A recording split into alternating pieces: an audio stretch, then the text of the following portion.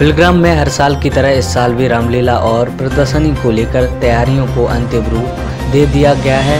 रविवार को प्रबंधक नीरज सिंह अगुवाई में बैठक हुई, जिसमें होने वाले कार्यक्रम का तय किया गया। रविवार को प्रबंधक नीरज की अगुवाई में बैठक हुई, जिसके होने वाले कार्यक्रम का तय कर दिया गया।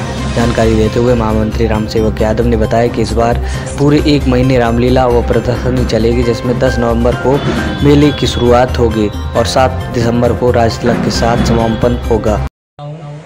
और साथ ही मेरा आशीर्वाद है ये रामलीला और भी अच्छे ढंग से संपन्न हो। सभी आने हुए लोगों को यथोचित स्वागत। मैं एक चीज़ कहना चाहता हूँ लगभग पाँच या छः साल पहले जैसे कि परंपरा हुआ करती थी कि हर साल प्रबंधक प्रबंधक चुना जाता था। उसी सिलसिले में एक बैठक हो रही थी सरस्वती मंदिर में। शायद हमारे प्रेम भाई साहब भी उसमें मौजूद थे।